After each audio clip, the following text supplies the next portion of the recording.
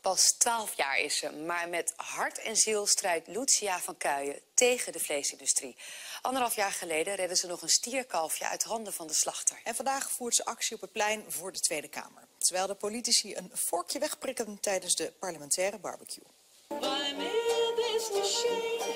Het parlementaire jaar zit erop voor de Eerste en Tweede Kamerleden. En dus wordt er gelachen, gedronken en vooral gegeten. Dit ziet er denk ik uit als varkensvlees. Dan hoop ik dat dit kip is. Een stukje rundvlees en een satéetje. Het dier leeft niet meer.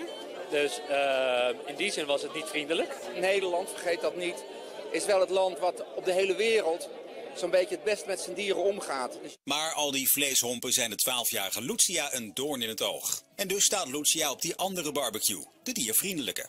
Ik zie hier helemaal geen vlees. Nee, omdat het ook een veganistische uh, barbecue is.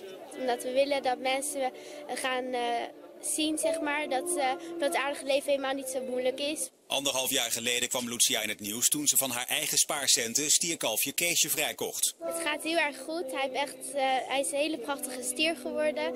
En uh, ik kom hem regelmatig uh, langs. Kamerleden en ministers zijn de mensen die de baas zijn in ons land. Ik zou deze mensen graag iets willen vragen. Wanneer gaat u mij en alle andere kinderen en dieren helpen? Helpen om mensen plantaardig te laten eten. Hoe zij kijkt naar dieren als levende wezens met, uh, met gevoel, dat vind ik heel mooi. Ik vind het gewoon heel erg zielig als dieren worden gebruikt voor vlees. Want dieren hebben een hart en een ziel en gevoelens. Lucia is in ieder geval vastbesloten om nog vaker actie te voeren tegen de vleesindustrie.